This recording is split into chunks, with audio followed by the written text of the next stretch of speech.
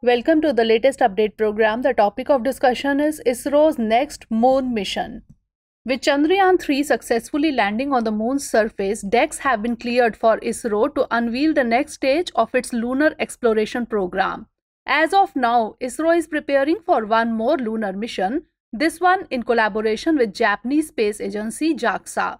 This mission is called LUPEX, that is Lunar Polar Exploration Mission. It aims to explore the lunar polar region for potential sustainable activities and water ice resources. The LUPEX mission is scheduled for launch in 2025.